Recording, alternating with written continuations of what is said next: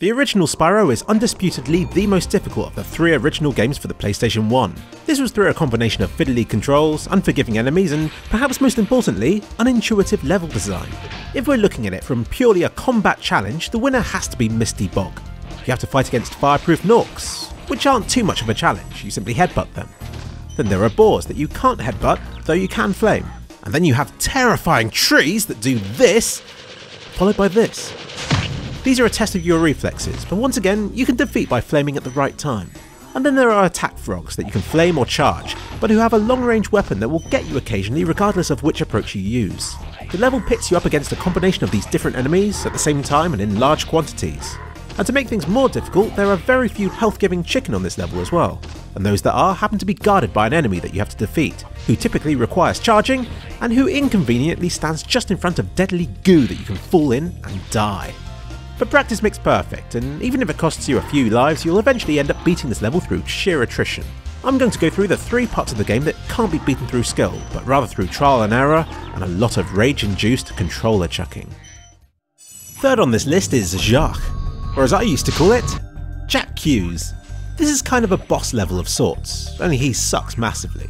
However, once you've defeated him and have inevitably tried and failed to escape from the level from this position, you'll soon find that you can't complete this level. You'll find this dragon just out of reach since this pillar is too high to jump on. You'll go back to the end of the level again to try and jump out. Again. And you'll fail. Again. And then you'll give up and look online for an answer. But back then, 10 year old Philip didn't have this option.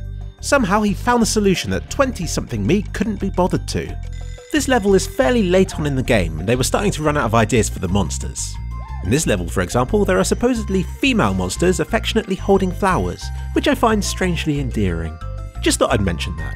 It has nothing to do with this video, but I remember thinking it back then and I still feel this way now. So, useless monsters with flowers? You'll forever have a place on 2kliksphilip.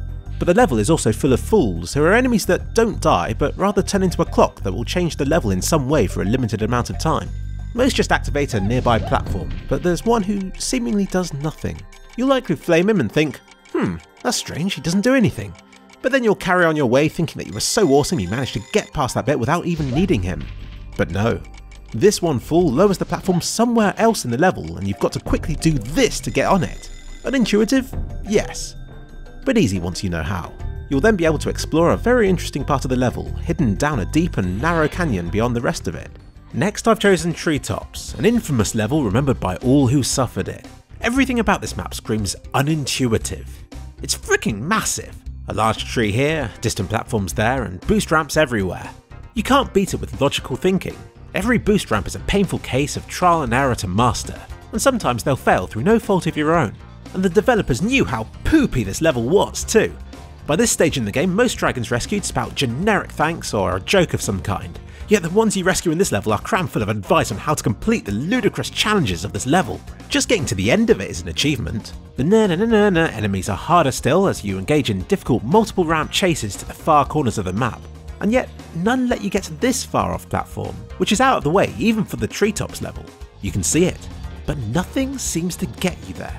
You leap from boost ramp to boost ramp, and yet you either end up in a dead end or plummet into your death far below. That's because you're thinking far too rationally.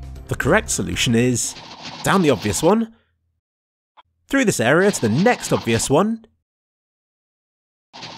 then back up the next one the wrong way, and then a botched glitchy jump onto the fourth that you'd never expect you'd have to make. And there you have it. You can now execute that final egg thief and leave the level behind. Until you unexpectedly have to replay it for a YouTube video in about a decade's time and somehow find it even harder than you did this time. And what's more, this level is about midway through the game, it stands out as being far harder than anything else around it. Gnasty Gnorc would have stood a better chance if he were to hang around these branches for the whole game. I know that for most of you who completed Spyro 1, Treetops will be the one that you remember, but at least you knew where you were trying to get to, and it's incredible how patient a child can be if you dangle a treat in front of them, just out of reach of their futile, floppy attempts. But there's one that I feel is even less logical than the one in Treetops, and that's Haunted Towers. Much like Jack Hughes, it's a level from the final homeworld, so I guess the developers assume that the players must like the game enough to be challenged at this point. Most of it's easy. This level's fad is indestructible knights. You have to be kissed by a fairy to be able to destroy them, and even with limited time with this ability, it's very easy to beat. The average player will reach the end of this level with little difficulty, though I made it impossible for myself in the latest playthrough when an enemy dropped his gem off the side of the map. But there's a nasty little twist. You'll beat this level, and your heart will drop when you realise that the large chunk of it hasn't been explored and is nowhere in sight. You know what hint they gave poor 10 year old Philip? This, in part of a skippable cutscene. Look, there's a hole in the ceiling. What could be up there? And more importantly, how the hell do you get there? You'll notice a ramp outside, which must be something to do with the run boost earlier on in the level. Great, let's try that. Nope, it's impossible to get all the way around it. It's just too tight. Oh look, there's the gem I lost earlier. So what are you meant to do? This.